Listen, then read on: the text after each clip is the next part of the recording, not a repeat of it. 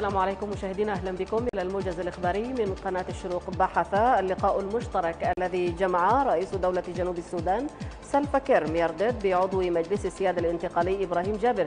ترتيبات انعقاد مؤتمر وزراء خارجية دول الإيقاد والذي من المتوقع أن تستضيفه الخرطوم نهاية الشهر الجاري.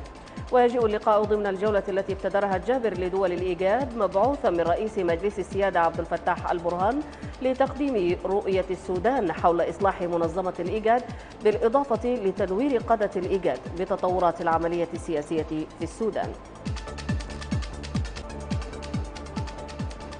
وصل عضو مجلس السيادة الانتقالي إبراهيم جابر إلى العاصمة الأثيوبية أديس أبابا مساء الأمس في زيارة رسمية ضمن جولته لعدد من دول منظمة الإيجاد. وسيلتقي عضو مجلس السيادة رئيس الوزراء الأثيوبي أبي أحمد ويطلعه على تطورات الأوضاع في منظمة الإيجاد والمؤتمرات المتوقع عقدها في الثلاثين من نوفمبر الجاري. وقعت وزارة المالية والتخطيط الاقتصادي مع جمهورية الصين الشعبية على إنفاق منحة بقيمة 90 مليون يوان صيني ما يعادل 13 مليون دولار لتنفيذ مشروعات حيوية مختلفة في البلاد. وقع إنابة عن حكومة السودان وزير المالية والتخطيط الاقتصادي جبريل إبراهيم ووقع إنابة عن حكومة جمهورية الصين الشعبية سفير الصين لدى السودان ماشين من.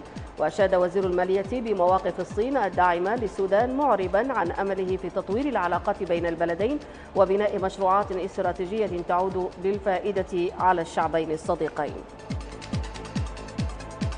زار حاكم إقليم النيل الأزرق أحمد العمدة بادي يرافقه عدد من أعضاء الحكومة. زاروا مركز تدريب الديسة بالريف الشمالي لمحافظة الدمازين وتجيء الزيارة بغرض الوقوف على أوضاع منسوبي الجيش الشعبي الذين يجري الإعداد لتنسيبهم للأجهزة النظامية في إطار استكمال الترتيبات الأمنية المنبثقة عن اتفاق جوبا للسلام.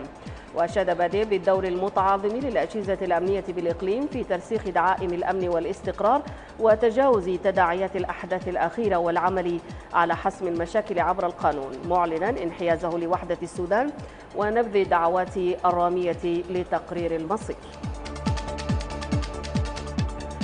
وقفت البعثة الإشرافية المشتركة للصندوق الدولي لبرنامج الموارد الطبيعية المستدامة وكسب سبل العيش إيفات والوفد المرافق لها على ترسيم المسار الأوسط الذي تم تدشينه بعرض كيلومتر ونصف وطول 141 كيلومتر.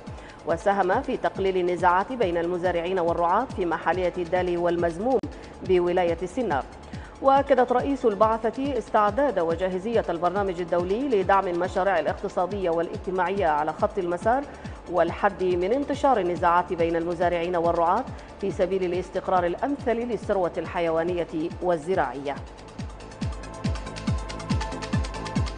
بدأ بالخرطوم المؤتمر الخامس للحبوب الزيتية والبقوليات بحضور ممثلين لوزارة التجارة والتموين والزراعة والغابات وسفيري سلطنة عمان والهند بالسودان وبمشاركة عدد كبير من الشركات المحلية والأجنبية.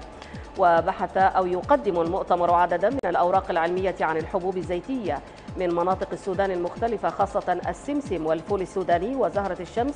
ويهدف المؤتمر إلى المساهمة في النهوض بصادرات الحبوب الزيتية في السودان والذي يعتبر من أوائل الدول المنتجة لها في إفريقيا. تنطلق اليوم بالعاصمة القطرية الدوحة الدورة الثانية والعشرين لمنافسات كأس العالم. وتعتبر هذه هي المرة الأولى في تاريخ تنظيم هذه المنافسة أن يسند أو يسند تنظيمها لبلد عربي. يذكر أن قطر ظلت تعمل منذ العام 2010 استعدادا لهذه المنافسة حتى قبل تنظيم آخر منافسة في 2018 بروسيا. وتعتبر المناسبة سانحة اقتصادية وسياحية تعود بالنفع على دولة قطر خاصة وعلى العالم العربي بشكل عام إذا مشاهدينا وصلنا وإياكم إلى ختام الموجز الإخباري من قناة الشروق لكم كل تحايا وفي أمان الله.